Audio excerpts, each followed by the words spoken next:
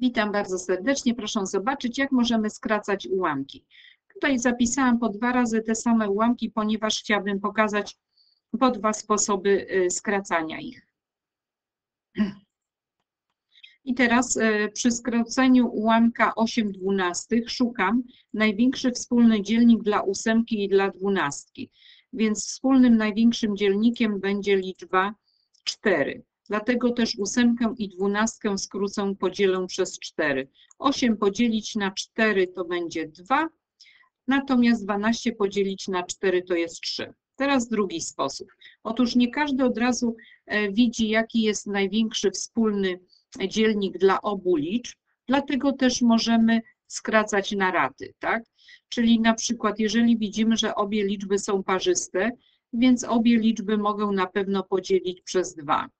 8 na 2 i 12 na 2. 8 na 2 to jest 4, a 12 podzielić na 2 to jest 6.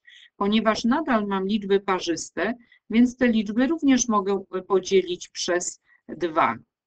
Tak? Bo zawsze liczba parzysta dzieli się przez 2. I co mi z tego wyjdzie? 4 podzielić na 2 to jest 2, a 6 podzielić na 2 to będzie 3. I mamy 2 trzecie.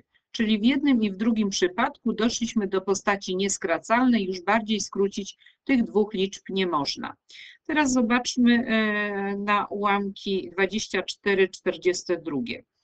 Tak, oczywiście też na dwa sposoby. Nie zawsze można jakby skracać na raty, bo czasami tylko przez jedną liczbę można skrócić, tak? Ale tu w tych przypadkach akurat można na raty skracać.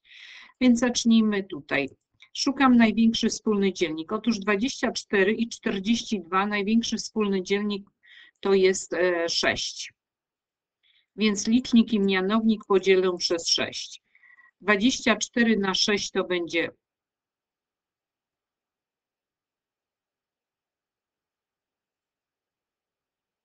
cztery, a 42 podzielić na 6 to jest 7.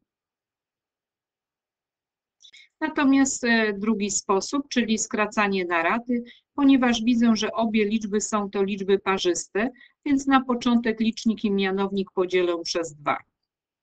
24 na 2 to jest 12, 42 na 2 to jest 21. No i tu już nie są te dwie liczby parzyste, ale e, trzeba już zaobserwować, że 12 dzieli się na 3 i 21 również dzieli się na 3 więc należy nadal skracać, tak? Bo doprowadzamy zawsze do postaci nieskracalnej. 12 na 3 i 21 podzielimy również na 3. 12 na 3 to jest 4, 21 na 3 to jest 7.